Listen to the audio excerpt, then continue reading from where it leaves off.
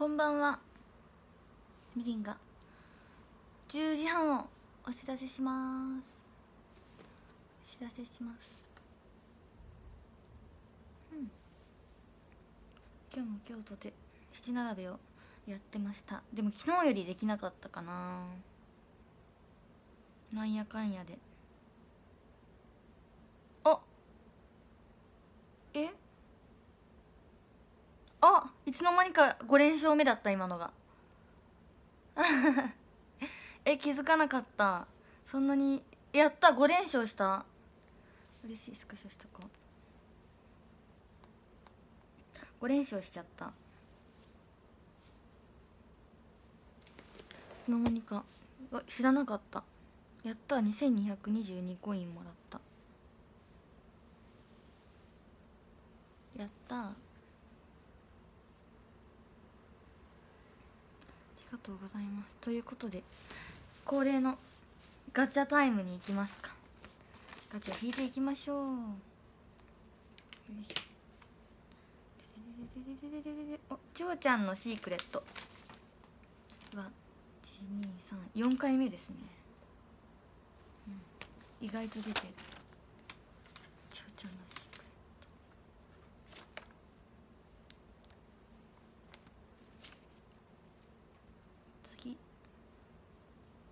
お私のウルトラレアとあ結構出てるな。上吉のウルトラレア。お2回目。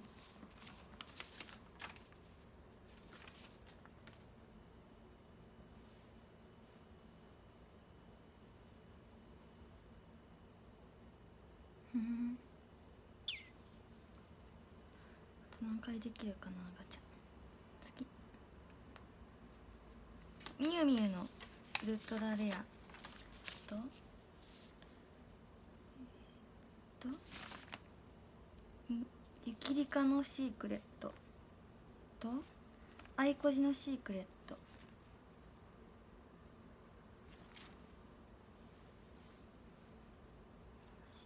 ね楽しい。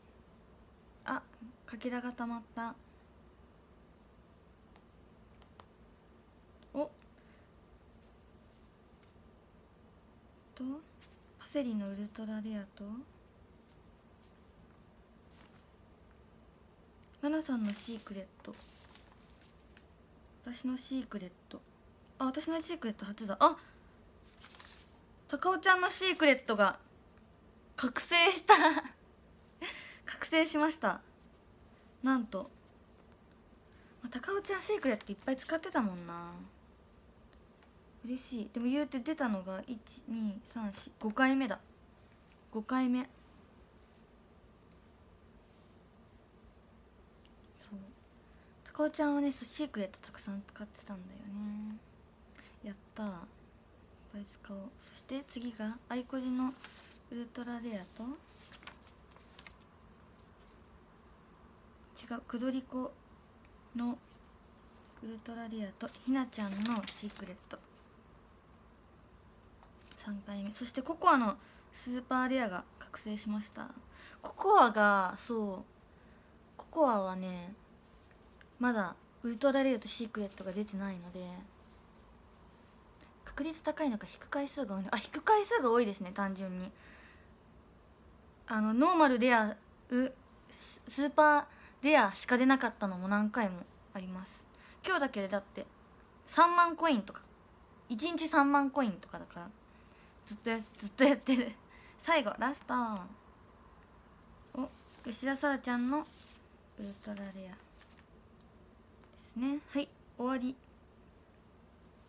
こんなに回してもウルトラレアとシークレットが出てないのがうつみちゃんとえ、りんこちゃんとココアですね。はい。まあでもこの調子でいくときっとねどこかでどこかでね。きるんじゃないかなって思いますね。うん。今日も今日とて頑張りました。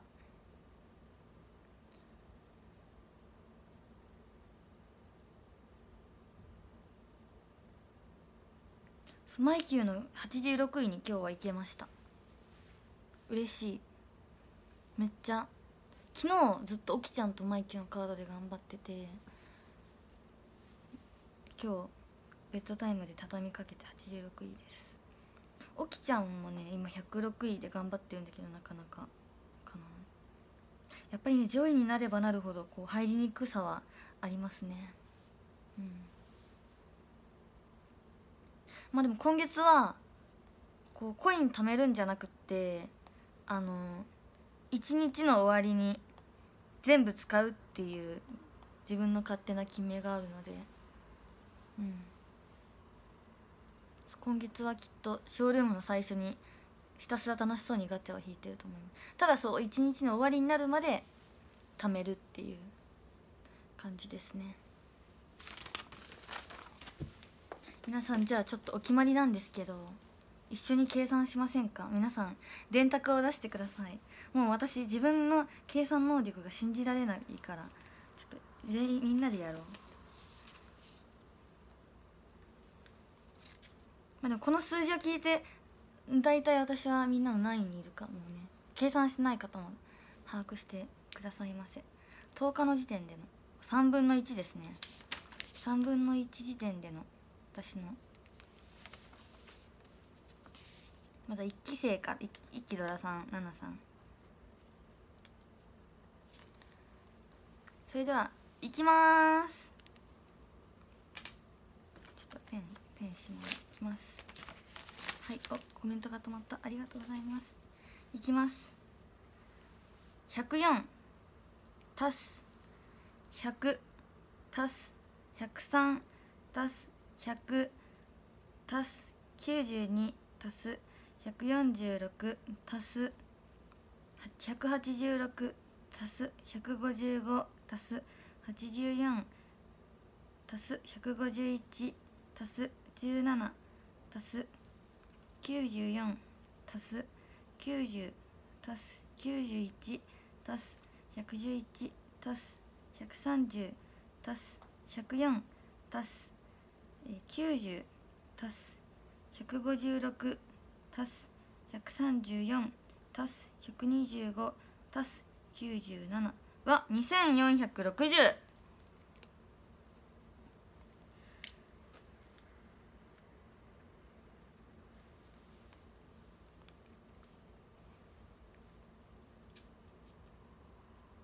おやったありがとうございます。2460割る22は111お徐々に。100に近づきつつありますね。111やったご名答ありがとうございます。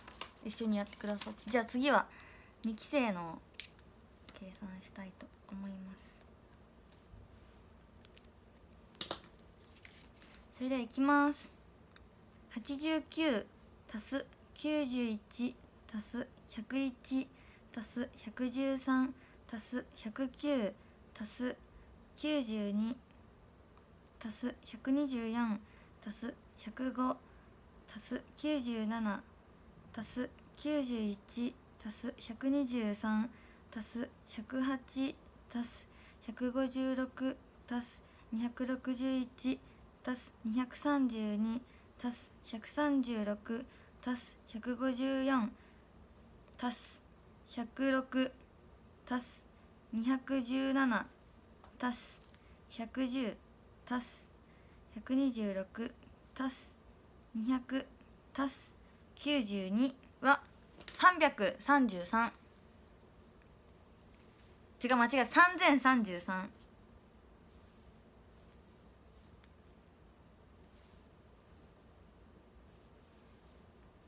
3033割る23は131おでもだいぶ近づいてきてますね。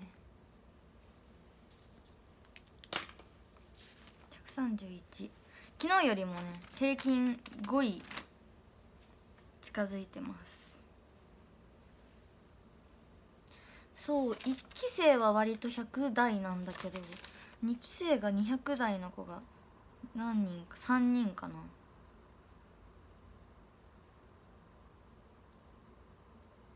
実センちゃんリッセンちゃん。あでもいけそうだな。いけそうだなって。カードがねカードが。自分のカードが。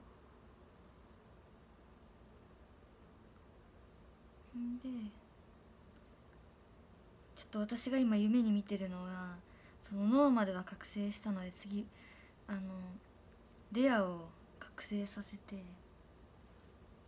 そうレアを覚醒させてここからここか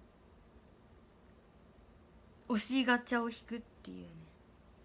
一押しガチャを引くっていうのが私の夢でございます。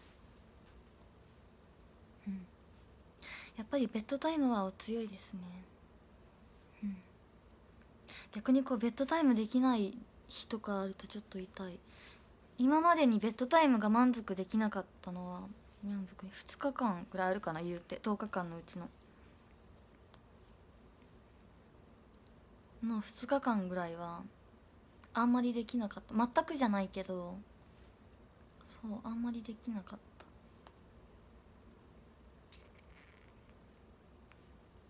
た。なあ、まあ、これからねお仕事とかも始め始まってったりとかして明日も分かんないもん。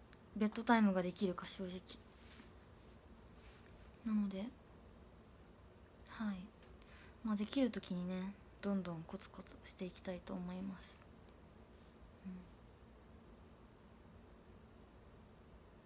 うん。ね合間を見つけて。そうだね。合間を見つけて。言うてなんか忙しくなるって言っても今までの今までのねに比べたら全然忙しくないし。これこっちかな。うん。そう。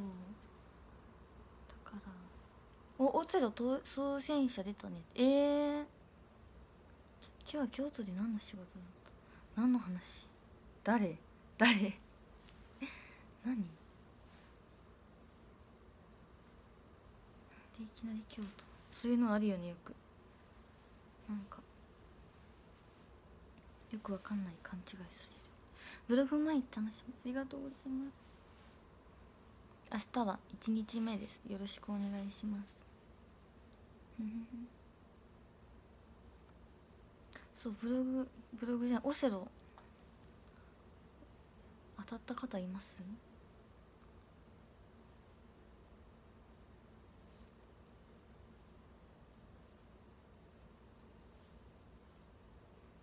いなさそうだななんか。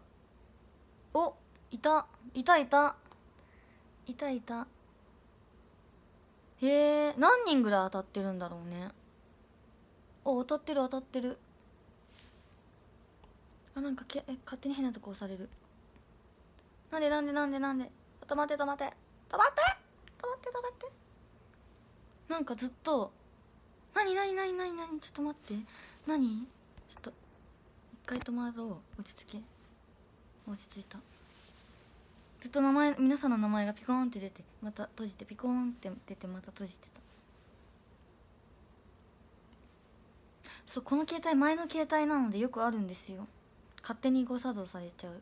最近ねはなかったんですけどよくあるんです。割れてるからね。うん。割れてるから。割れてたらねそういうのありますよね。えー、当選何人ぐらいしたんだろうね当選。わかんないんだよねそれが。うん。でも私そうだな。別に得意だったの。小学生の時とかだから。なんだろう。高校高校野球してたおじちゃんが野球頑張るみたいな感じのテンションかな。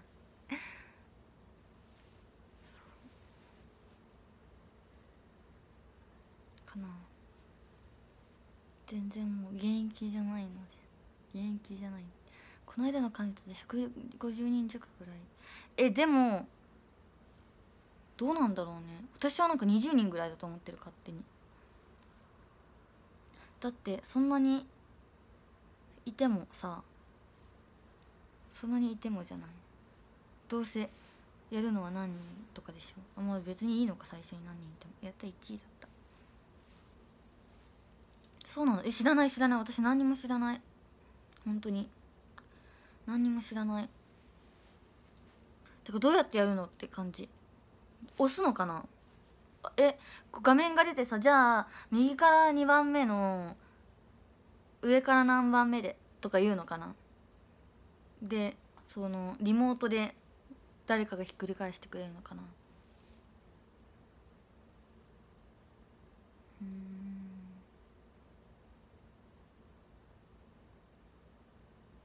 ユミリンが指名すね。私そういうの嫌なんですよね。なんか自分で指名するとか。だから本当になんか知ってる人とかでも容赦なくなんかアピール合戦みたいなのあるみたいですよね。だからそこでちゃんとまあファンの方はね分かってくれてると思うけどそういうの。うん。なんかすごい嫌なんで嫌。紙に書くって書いてあった。どういうこと？紙に書くって。紙に書いてスタッフさんがひっくり返してくれるって聞いた。どういうこと？どう？紙に書いててスタッフさんがえ私がじゃあここでみたいな感じで紙に書くのかな？うん。不思議。そうなんなんか皆さんの方がじゃんけん大会にしてしまう。なんかそしたら多分ね番組の意図と変わっちゃうんだと思うんだよね。そう誰誰そうメンバーにもなんかこれどうしようって私こういうの好きじゃないからめっちゃなんかファンの方選んだみたいな。いやなんだけどどうどうしたらいいって言ったらなんかそうじゃんけん合戦とかなんかなんちゃらの数が一番多い人とかにしたらって言われたけどでもうんなんか多分アピール合戦になると思う。から分かんないけどねそれは。本当に分かんないです私何も。でもまあはい。ひいきはしませんということだけ。お伝えします。はい。ひいきはしません。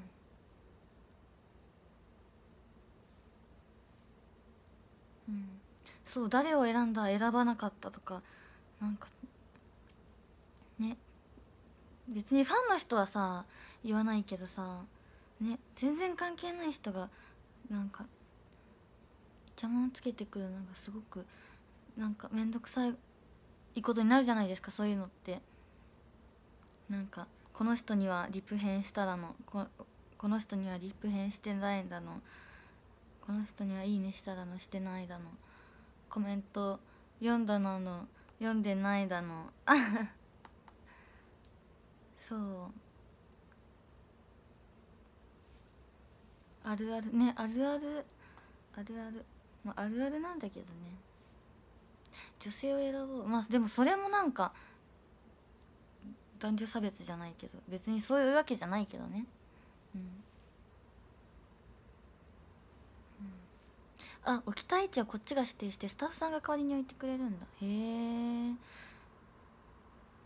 あ紙を30枚ぐらい用意してくださいと注意事項にあった。あそうなんだ。だから皆さんの方が詳しいあるあるあるある皆さんの方が詳しいあるある。そうなんだ。ありがとう。また知らないことあったらじゃあ皆さんに聞きますね。言うてあと3日後か。3日後。でも私前日にショールームができないかもしれない。ちょっと。先にやっとくと。申し訳ないです。できないかもしれない。かもなのでね予定は未定ですが。うん。そういうやり方なんね。そういうやり方なんだ。へえそっか。明日聞いてみようまた。うん。うん。リモート電話も楽しみだ。あリモート電話もさ当落出てるの？あれ？まだなのかな？どうですか？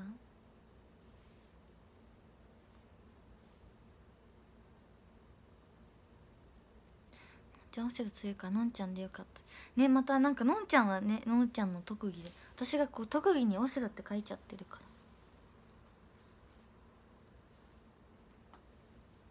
ら。ね。発表延期ってお知らせだ金太私も見た見た見た。じゃあまだなんだね。うん。そっか。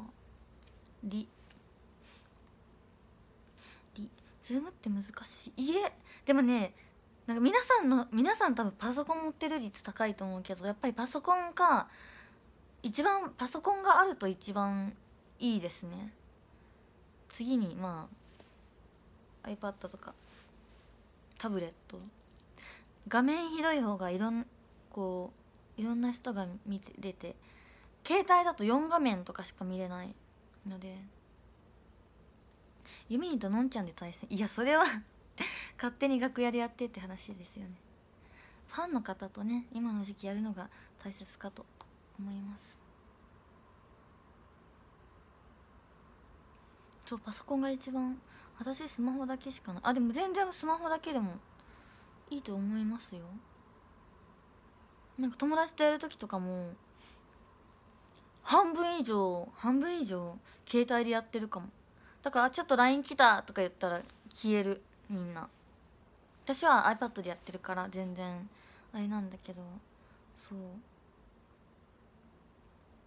なんか大学の友達とかとグループがあるんだけど9人ぐらいで。で何時からやるみたいな感じで言ってなんか「今から入るね」とかこうグループで LINE があるからそれをみみんなが見る時とかにはみんな消え大体消えちゃう。パソコン今時の子持ってないんだよね。うん。持ってないみんな。パソコン。パソコンはうん。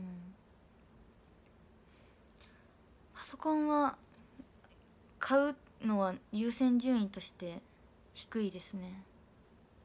誰も聞いてないだろうけど。パソコン買う前に録画機が欲しいのとあとはイヤーポッツ。あとは携帯に CD 取り込めるやつが欲しい、まあ、パソコンがあったらその CD 取り込めるよってそういう問題かもしれないけどうん。別にそこまでじゃない。取り込めるやつがあったらいい。中古パソコンタブレットより安い。よまあタブレット持ってるから別にもう買わないし。あとはそうだな。別に中古じゃなくて買うならいいやつ買いたいから。いいやつを買いたいので。うん。なんか変に変にかなんかそう私ずっと携帯が片落ちだったのでそれを踏まえて高校の時ずっと携帯が使いづらくって本当にもうその発売当時買った時にもうすでに片落ちだったの。でも携帯買ってもらえるだけで私は嬉しかったから何も言わなかったんだけどお姉ちゃんもそうだったから携帯買ってもらった時に一番安いやつ。であんまり新しくないやつだったからそれが普通っていうだったけど充電が持たないのなんか古い携帯も使ってる方わかると思うけどなんか70何パーで切れちゃうんだよね。だから困るのが学校帰りとかに何時の電車でまあ田舎だと30分とか1時間に1本しか電車がないから大体何時の何分初の電車で帰るよ。何分に着くやつで帰るよって連絡するんだけどその連絡ができないから公衆電話でかけたりした駅の。駅の公衆電話でかけたり時間ない時とかは友達に携帯借りてました。携帯持ってるのにね。なんか充電器とかも持ってってんだけどもう一回切れたらちょっとめっちゃ熱くなっててそんなに使ってないのに。使えなくなっちゃうから仕方なしに。まあ友達も分かってるからそれを貸してくれたりあとは電車まで時間がある時は駅の公衆電話でかけてました。うん。かな。高校の時ずっとその携帯で大学に入ってようやくそのそれだと私が一人暮らし始めるのにあのたびたびそんなねそれしかもう連絡手段がないからってなってまあ iPhone をかその時初めて買ってもらったかな。ですね。でも一人暮らし始めてすぐ水ぽちゃしてすぐダメにしちゃった。すぐ壊した。本当にすぐかな。本当に夏前。春過ぎ。梅雨前かな。本当に。4月か5月か6月ぐらいに落としちゃったの。ちゃって。で使えなくなっちゃった。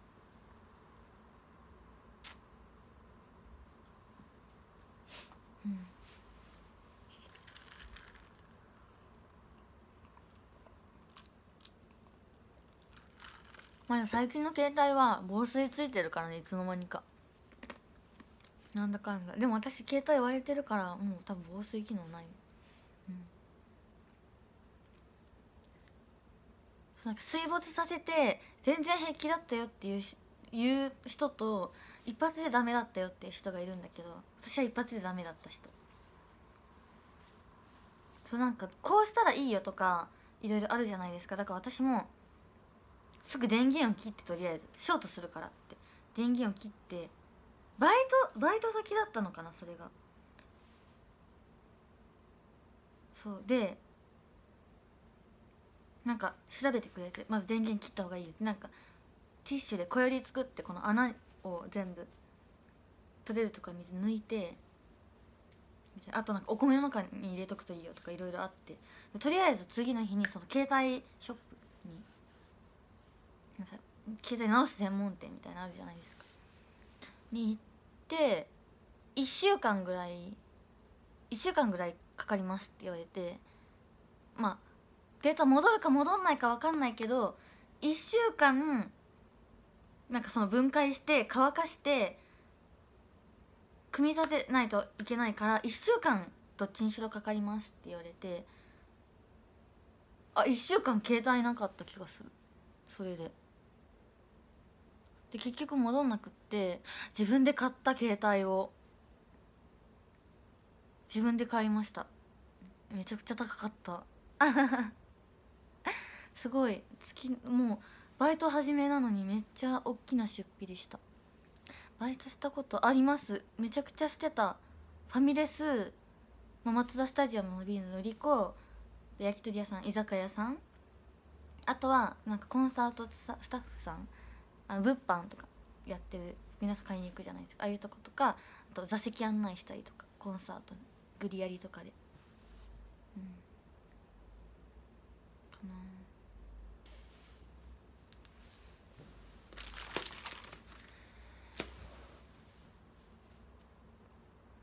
ですね。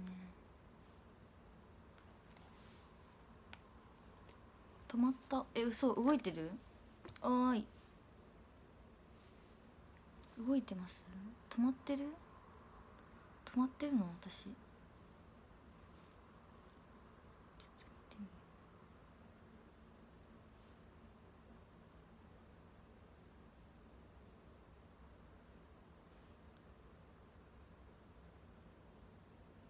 えおかえりって何？どういうこと？時々止まる？過失戻った？あ一回止まったの？えー、やだやだなコメントがすごい遅いんですよね。感じ。じゃない。でここのやつからふわって出てこうふわって出てピッピッピみたいな。あ LINE 来たみたいな。シュパーってあそうだね。なってそう。あ 3D いいね。じゃああーんとかしたらさこうあーんってことでしょ。うわーいいないいなあとあれかな。こう新聞の写真が動くみたいな。あの「ハリー・ポッター」みたいな感じで。新聞の写真動く。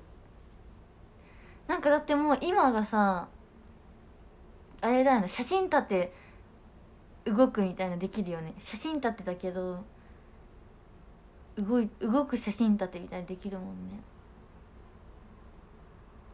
あコンタクトに AI が組み込まれてほしい。あーいいね。てかなんかなんかこれこれ欲しいんだけどなんかこのカメラ機能が入ったコンタクトであ撮りたいって思ったら撮りたいって思ったやつをこうパシャってやったらこのまばたきした瞬間がパシャって撮れるみたいな。ただそのやるごとに撮れたらもううんい一日何万枚になっちゃうからその自分が撮りたいって思ったらビビビってちゃんと反応されてこう撮りたいって思った瞬間だけこのカシャカシャカシャカシャカシャカシャカシャカシャカシャってできちゃう。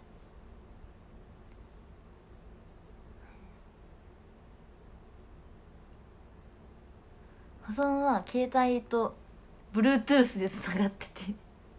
Bluetooth とかじゃないのかもしれないけど。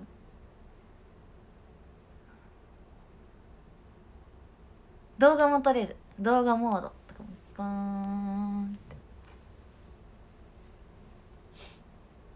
ただだからコンサートとかの時はちゃんとこう目のチェックがある。こうやってこう光とか当てられてそのコンあのコンサートの時はカメラ付きコンタクトは使用不可ですって。その録音録画機を持ち込めないじゃない。お価格お断りしますって。スタお待ちの方は近くのスタッフさんに渡してくださいみたいなのがある今もあるみたいで。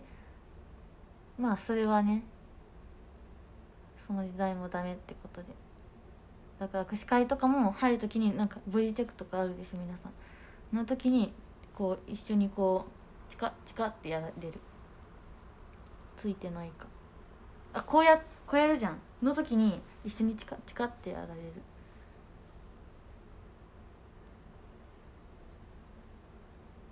かな。いいですね。ステイ48 47枚目シング。ル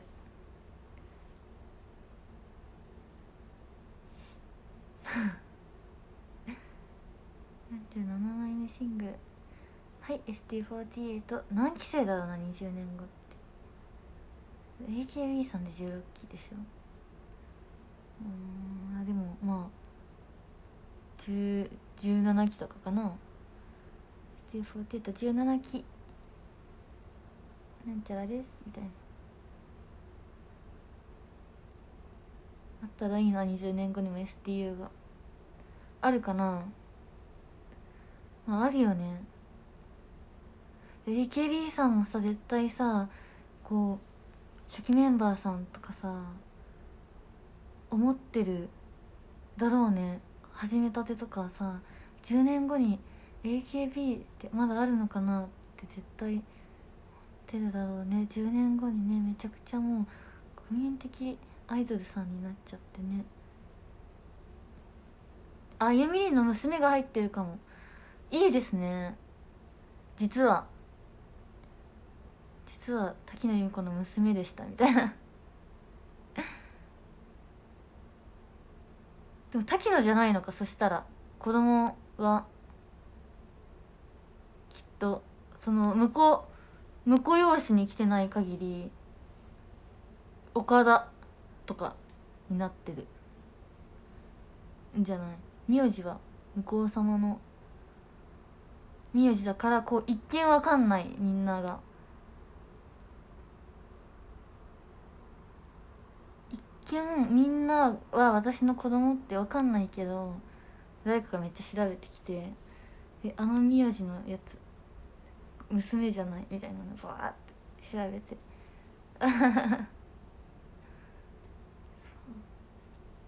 え娘の握手会で俺ママのファンだったんだよ。やばい。言ってほしい。あだ名が滝野になるんじゃん。えそれは嫌だな。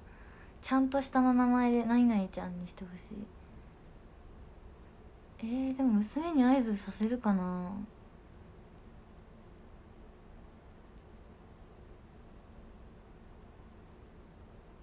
させるかな結婚しても芸名滝野あどうなんだろうね、まあ、まず私が結婚するかしないか分かりませんけど。まだ。でも芸能人さんは割とそのままのね名前の方が多いですよね。うん。娘に推し変するオタクが出そう。逆に私がそんな結婚して子供ができてもう40何歳なのに私のことをまだ推してくれてるっていうのがすごいですよね。こう推し変されたとして。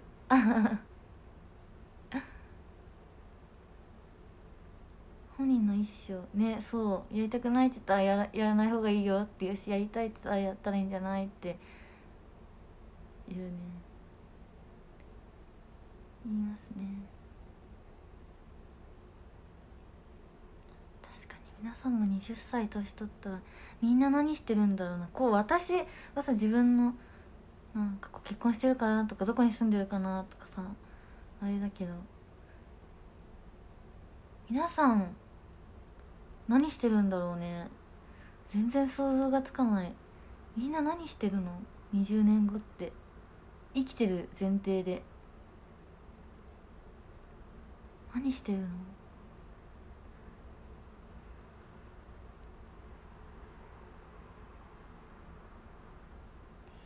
年後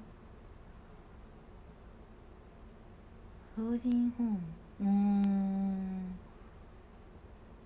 まだ会社員してそう。あなるほどね。へえしてる仕事をしてるかどうかギリギリ。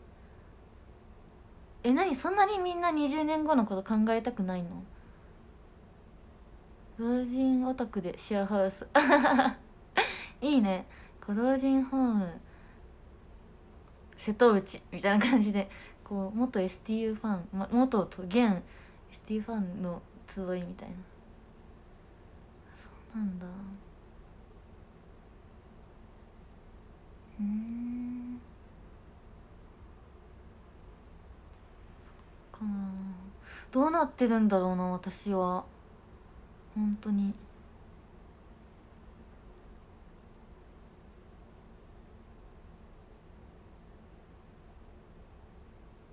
あ孫と一緒に ST をしてると思う。素敵。それは素敵。30歳ぐらい年下の女の子と再婚してたい。ああまあむむまあ夢はねいくらでも持てますからね。へえ勉強は一生続けるつもり。まあそうだよ。生きてる限り勉強学ぶことはたくさんありますからね。私何になってると思う。その会社の社長さんになってほしい。大河ドラマ主演女優ですよ。すごいな。へえ20年前そんなことを考えたことなく確かに私3歳の時に23歳の時な20 2歳か。2歳の時に20年後何してるんだろうとか考えたことなかった。なあ。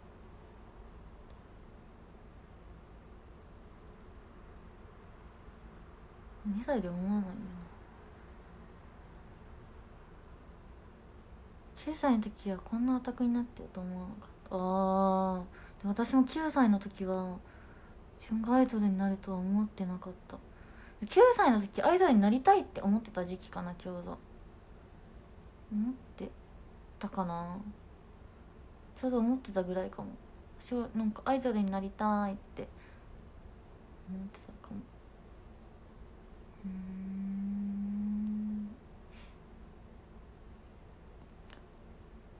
高校生の時こんなにアイドルにお金を使うようになるとは思わなかった。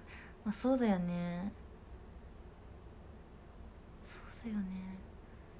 私も思わなかったな。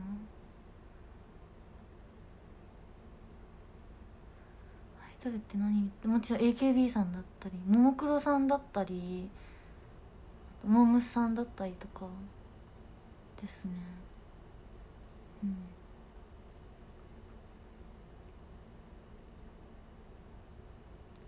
アイドルにハマるとは思わなかった。そうだよね。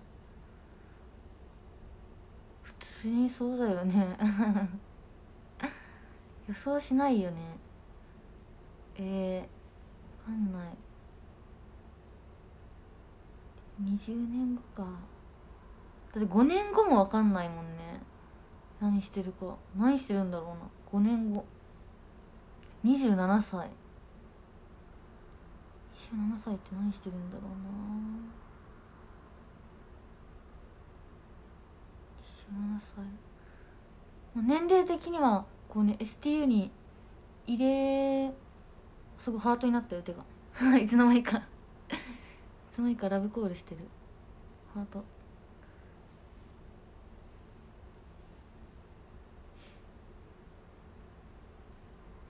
うん。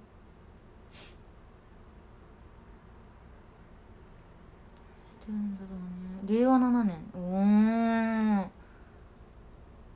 すごいな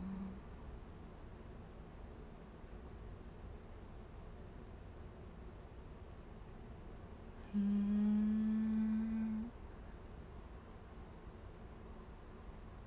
してるんだろうないね。逆に10年前って何してたんだろう。12歳か。ああそっか。ちょうどサックスを始めた時期ですね。そっか。はい。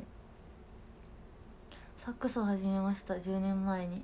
一目惚れして。あ私はこの楽器を吹くために。小学校の時にあ私はこの楽器を吹くために吹奏楽部に入ろうと思ってサックスを吹きたいから吹奏楽部に入りました。だからサックスかっこいいし私がずっと小学校の時からサックス吹きたいって言ってたから割とみんなサックスがいいって言っててだからめっちゃ倍率高かったからいや私サックスになりならなかったら吹奏楽に入る意味ないじゃんと思ってサックスになれないんだったら吹奏楽部やめようかなって思ってた。そう楽器学校によって違うけどやっぱり希望の楽器ってそうそうなれないもん。なんですよね。だってそんなこと言ったらやっぱり花楽打楽器のトランペットとかフルートとかね。あとパーカッションドラムやりたいとかどうしても偏っちゃうから。全部いい楽器なんですけどね。全部かっこいいんですけどやっぱりまだ音楽を知らない身としては、ね、目立つ楽器にいっちゃうんですよね目が。クスとかねフルートトランペットパーカッションとか。うん。かな手の位置。手の位置。そうかその時はサックスが一番人気あったかな。私が入る時は。あ10年前 AKB のファンしてますすごい。大先輩じゃん。大先輩へえシングガールズの影響？うんうん。お姉ちゃんがやってて。その練習見に行ってお姉ちゃん全然違う楽器なんですけどあのそうサックスに一目惚れしちゃって。サックスっていうのは知らなかった。最初。あの楽器かっこいい。かわいいってなってた。なあうん。20年前は。あバック・トゥ・ザ・フューチャーがあるんだよね。明日か。え9時からか。見れるかな。見たいな「バック・トゥ・ザ・フューチャー」は家族で見たな。金曜ロードショーで小学校の時ぐらいかな。やってて鈴木をお父さんが借りてきてくれて一通り見ました。全部。見た一回見たことある小学校の時に全部。かな。でももう忘れちゃった。忘れちゃそうだね。今話してることだね。未来に行くって。過去にも行くね。うん。映画館で見たあそうなんだ。へえでも全全シリーズ見たけどもうあまり覚えてないかもしれない。そんなに何？などういう話だったっけって感じ。車が勢いよく発車して消えちゃう。話。うん。未来覗いてみない見たいな。え皆さんは未来覗いてみたいですか？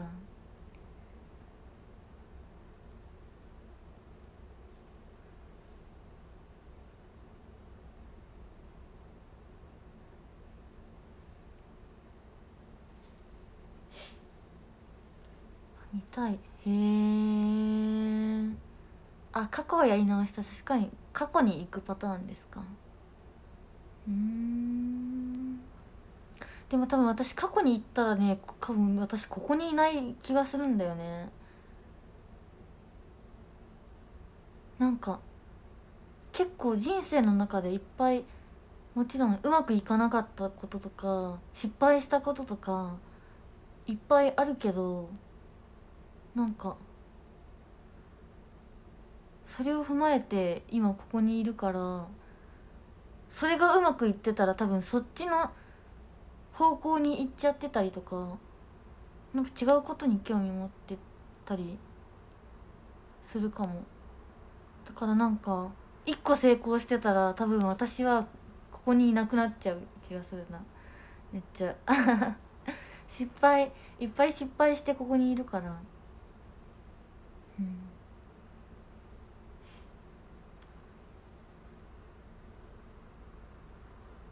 ん、あーでもなんか未来の自分に会って幸せですか？って聞きたい。なんか何を知りたいとかじゃなくって幸せですか？って聞いて幸せだよって言ったらあよかったってじゃあ私はなんかどんなに失敗しても結局幸せになれるんだってなるしなんか幸せじゃないよって言われたらなんかその幸せじゃなかった原因を聞きたい。なんか後悔してること。一番後悔してることが聞きたい。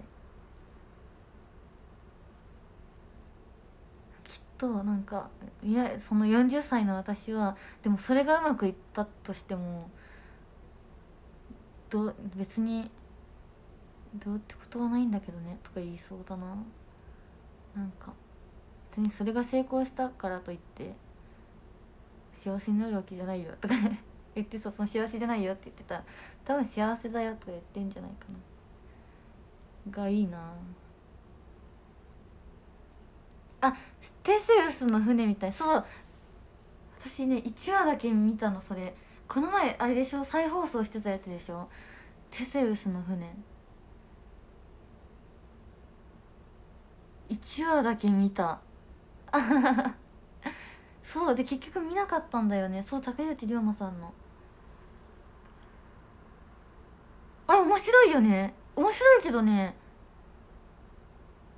でもなんか面白くないとかで1話しか見なかったわけじゃなくって。面白いと思って。なんかしかも一応ね途中で寝ちゃったんだよね確か。なんか。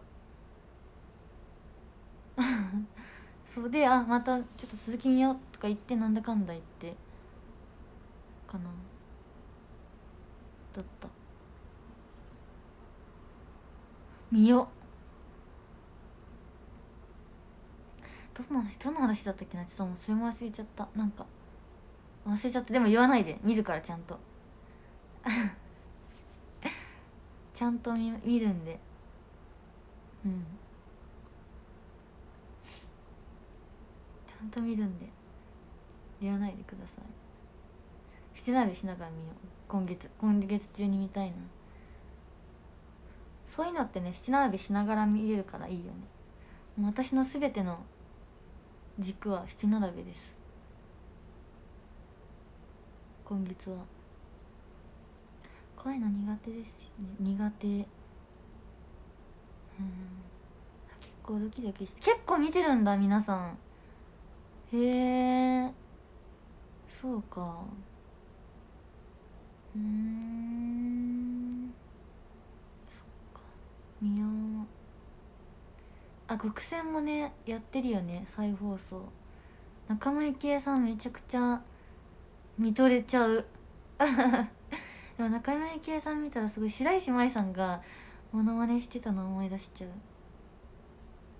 家政婦の三田見てる。ああですね。私家政婦の三田園が面白くて好き。豆知識とか使えるし。うん。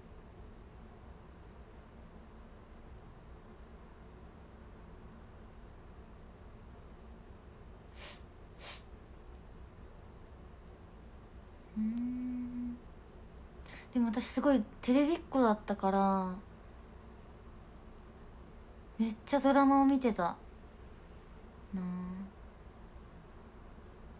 国戦は多分その今かかってるシリーズはまだ全然ちっちゃかったからリアルタイムでは見てない。3回目かな？シーズン3かな？が多分ちょうど小学生とか中学生だったのかな。アクアタイムズさんの。時。2時。がちょうど。世代かな。そこが。あ花ざかりの君たちへね。見てたな。てかドラマってほとんど見てたかも。小中学中学生入って。いや見てるわ。小中学生は。ほとんどドラマ見てるかもしれない。高校生になってあんまり見れなくなっちゃった。ドラマが。自然と。そう。だから。あっちゃんの時エキストラ行った。えー、すごい。私どっちも見ました。堀北真希さんのやつも。前田敦子さんのやつも。どっちも見ました。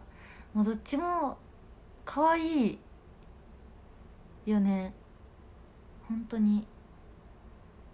あなんか本当にああそういうそういう顔で生まれたかったなってずっと思ってた。可愛いって。前田敦子さんとかすごいさそのあの時もまだ AKB さんでめちゃくちゃね最前線で活躍されててめちゃくちゃそれだけでもただでさえ忙しいのにそのドラマの主役ってすごいよね。あトリック好きだった。ねそれも仲間由紀恵さんだよね。うん。今思うと本当に信じられない。信じられないスケジュールじゃないですか普通に。なんかただでさえそのアイドル業としても多分今とは考えられない量の歌番組とかいろいろね東京ドームでコンサートやったりとかしてたのにその合間にドラマの撮影がしかも主役であってセリフも覚えないといけないしそのコンサートのやつも覚えないといけないしいやすごいよな本当に。なんかねそういう方と比べちゃいけないんだろうけどねそういうのを考えるとまだまだだなって思います。まあ、それがこういいのか悪いのかは分かんないですけどね。体調とかねきっとたくさん崩してたのだと思うしね。13位ゴーセブンさんありがとうございます。12位大好きマンさんありがとうございます。11位エリオルマルさんありがとうございます。10位高平恵子さんありがとうございます。9位スナップくんさん夢息子調べ我慢早く会いたいです。ありがとうございます。8位アルタさんありがとうございます。7位杉谷さんありがとうございます。6位力也さんありがとうございます。5位コーラさんよいしょ。あまり言わないんですけどエミリのことが好きです。ありがとうございます。4位ゆっきんさん配信中に対してありがとう。あねさっき当たったね。ありがとうございます。3位くまねパパさんエミリンがそのマスクをするとおしゃれに見えるええー、ありがとうございます。えー2位ゆうくんさん意味直しありがとうございます。そして第1位が松宮さんありがとうございます。今日も1時間半しちゃった。しちゃった。きっと明日はちょっとその分短めで終わろうかなじゃあ。ありがとうございます。ありがとうございます。今日も寝れますように。お風呂行って。して鍋集計して。寝たいと思います。お1万6000人。ありがとうございます。ありがたきのです。ドラマの話面白いね。私が本当にでも小中学校の時に本当に毎毎日見てたかもテレビ。うん。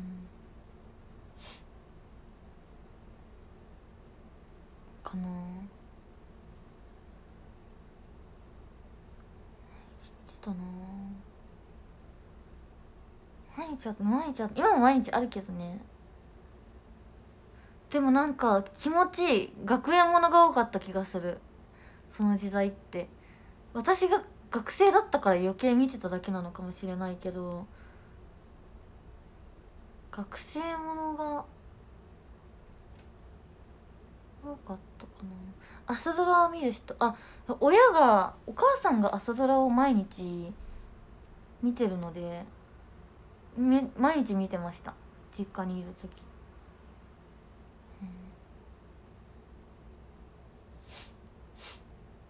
見てたな。お母さんと一緒に見てた。あおばあちゃんも見るんだよね。なんか朝もだしあとはなんか結構いろんな時間にかかってるじゃないですか。朝ドラって。朝ドラって言いつつ昼にもかかってるし。なんかこう実家でなんだろうなテスト中かなんか一日家にいる時とかはなんか朝み朝見れなかったとかでお昼にお母さんが見てたりとかなんかいろんな時間に一緒に見てたな。朝最初の5分間見れんやったんよって言って結局お昼も15分間も見たりとか。15分って多分そのね主婦さんにとってもちょうどいいじ15分なんだろうね。こう1時間とかじゃなくて15分ってちょっと合間に洗濯の合間にあ CM でスチューデンツやってる。えやだな見たくないあれ。それでは最後までありがとうございます。今日はマスクでした。ありがとうございました。明日も一日。頑張りやめりおやすみなさい。おやすみなさい。